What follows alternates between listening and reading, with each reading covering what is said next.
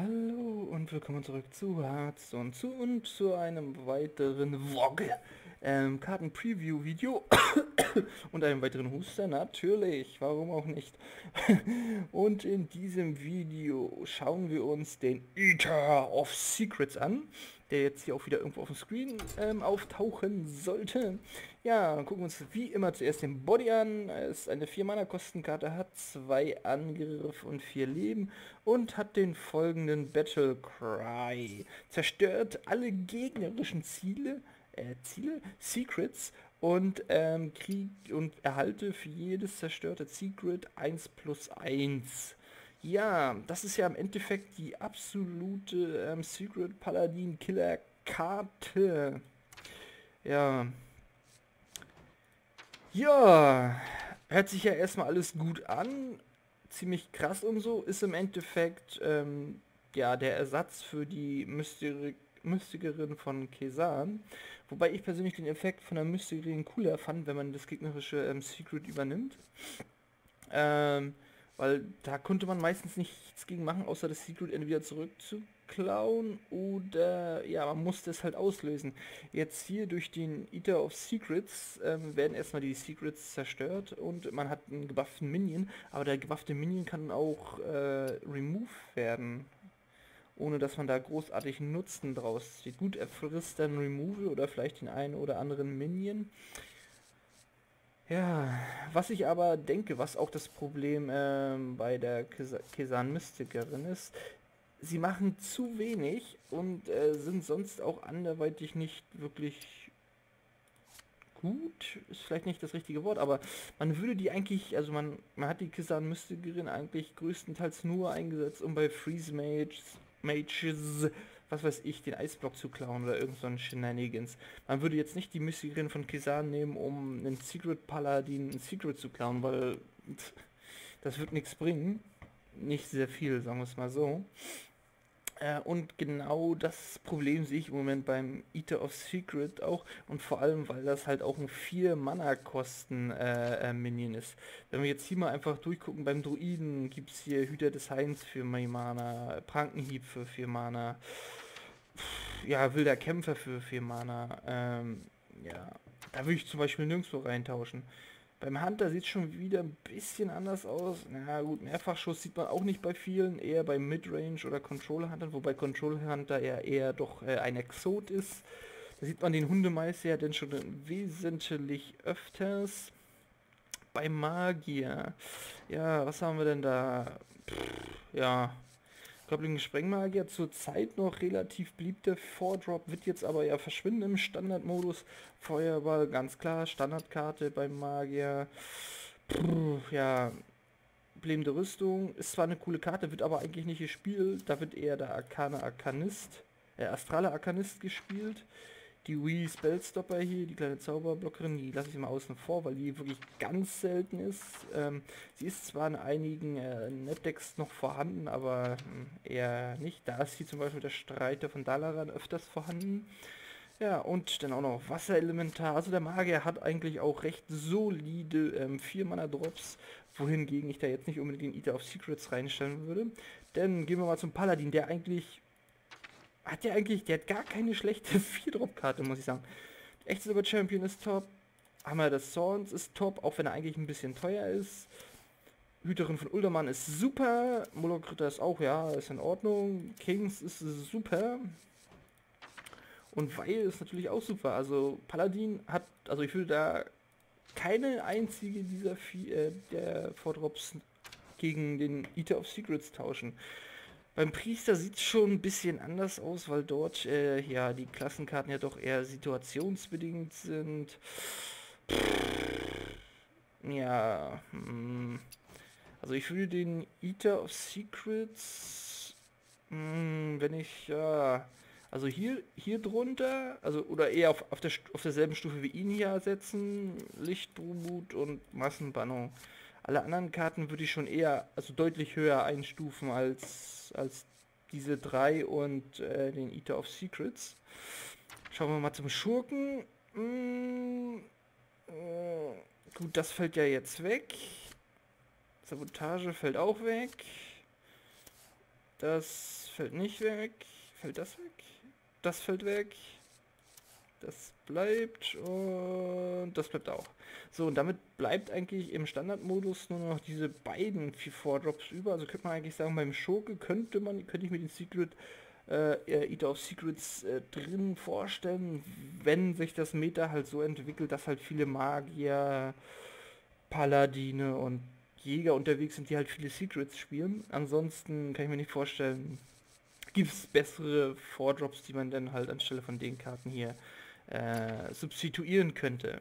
Ja, beim Schaman, ja, würde ich mal sagen, aufgeladener Hammer ist, ist top, Brandwache ist top, Trainer Schnitzerin ist top, ja, und dann würde ich sagen, der Rest ist eher situationsbedingt, wobei bei einem Kampfstreitdeck ist der auch sehr stark. Ja, und der Rest, ah, Murloc-Zeitenwandler in einem Murloc-Deck ist eigentlich auch zu langsam.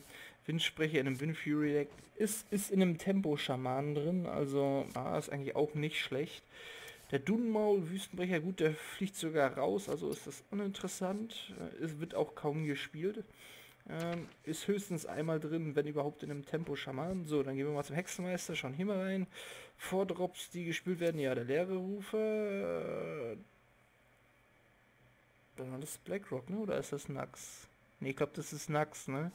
Ähm, ähm, da siehst du, können wir mal reingucken. Nax? Ja, ist Nax, okay.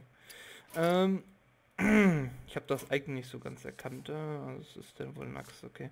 Ähm, ja, Faust von Jaraxus. Ich persönlich mag sie, aber wird eigentlich... Also in, im Ranked habe ich die vielleicht erst ein oder zweimal gesehen, wenn überhaupt. Ansonsten immer nur, wenn ich sie selbst gespielt habe. Ähm, ja, Schreckensross im Karte, keine Frage. Schattenflamme in jedem Handlock-Deck zu finden, gute Karte. Und Implosion auch total übel, fliegt raus äh, im Standardmodus. Und natürlich das gute alte Hellfire, ja, ja. Hm. Also beim Hexmeister würde ich äh, sind auch gute Vordrops vorhanden, also würde ich auch nicht unbedingt den Eater of Secrets äh, dafür irgendwo reinsetzen. Beim Krieger, ja, das ist auch wieder so eine Klasse, die zwar Vordrops hat, die aber auch wieder Decktype ähm, archetypmäßig ähm, ja, äh, abhängig sind. Also das Byte fliegt erstmal raus. Und ja, der Rest, ah ja, hier, äh, die Rostlaube fliegt auch raus, ist eh eigentlich in einem, nicht mal in einem Mech Krieger war die Karte drin, also hm, Horts. Ähm, ja, und hier der Axtwerfer und ähm, der Cochron, die sind eher in Face- bzw. Tempo-Krieger-Decks drin gewesen. Also im, im Control Warrior hat man die eher nicht gefunden und dort waren dann halt die Vordrops der Wahl eher eigentlich nur bis des Todes und dann halt die neutralen. Magna Town, Alpha, Rotz, äh, tödlicher Stoß war mal, hatte ich mal in einem Spell Warrior drin. Ist auch in einigen Tempo Warriors oder Face Warriors drin, äh, Warrior Decks drin.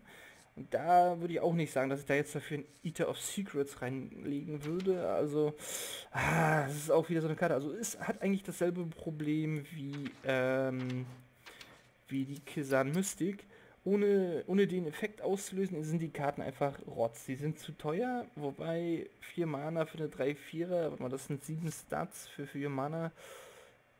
Hier sind 9 Stats für 4, äh, 4 Mana, hier sind äh, 8 Stats für 4 Mana, 5 Stats für 4 Mana, also,